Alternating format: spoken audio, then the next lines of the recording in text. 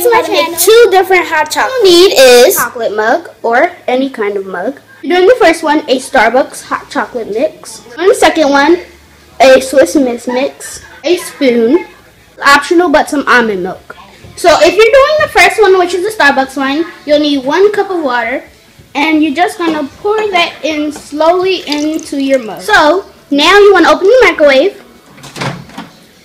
put it in, put your Starbucks cup in, close the microwave, and I'm just going to put it in on for 55 seconds. And start. Seven, six, five, four, three, two, one. So with the help of my little bother, she is going to open up the microwave and take up my mug. And you want to make sure you have an oven on just in case you have more than 1000 watts. If it's not hot enough for you, you can also put it in for help of my little bother. She's just going to open it up.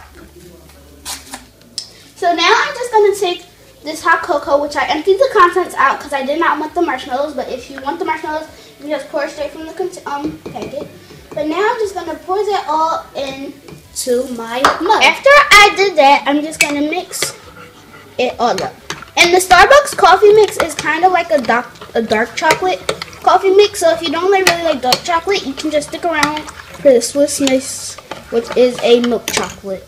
So now you want to take some almond milk. I'm just using this Friendly Farms natural vanilla almond milk because it gives it a little sweet if you don't like dark chocolate, but you don't have any other kinds. So I'm just going to add a tad bit inside here.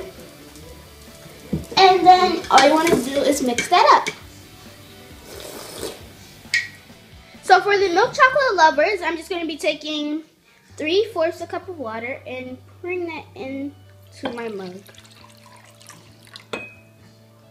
So now you want to take your 3 fourths a cup of water and you also want to put it in, just like the Starbucks one, to 55 so 55, which means 55 seconds.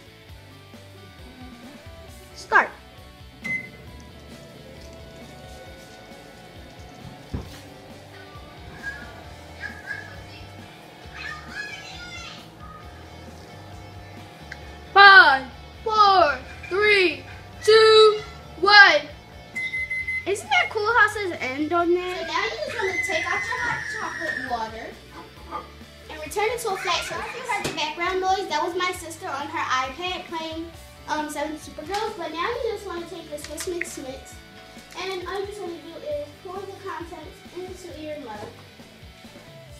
And then you want to mix so now, you just want to take a mixing spoon and just mix it up. And while you're mixing, you want to take note and think about if this is milk chocolate, you really don't need almond milk, but I strongly recommend almond milk for the Starbucks one. So you just want to mix it up until everything is fully dissolved. So you want to make sure there's no little things like how my mug is.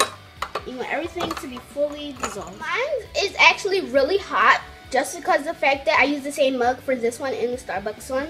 So the mug was still hot. So I will be adding almond milk, but I told you this is very optional. But now you just want to be adding some almond milk in here. And it gives it a nice sweet like vanilla flavor. And if you like nuts or something, this will give it like a little nutty flavor. But it's just perfect.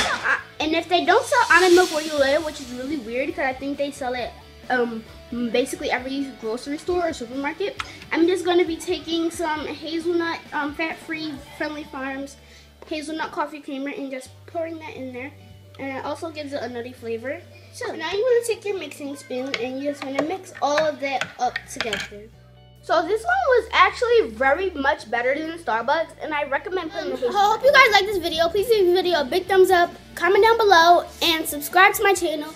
And a lot of people have been asking me what are my favorite YouTube channels. I've been loving Alfie Games, Zoella, Makeup by Minnie 24, Maddi Bragg, and like all those nice social media, Kayla, Gail, RCL Beauty 101, and she is having a 1 million subscriber giveaway. So if you are subscribed to her channel, you should go into that.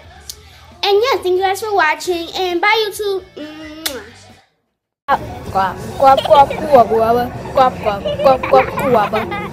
Make sure you subscribe.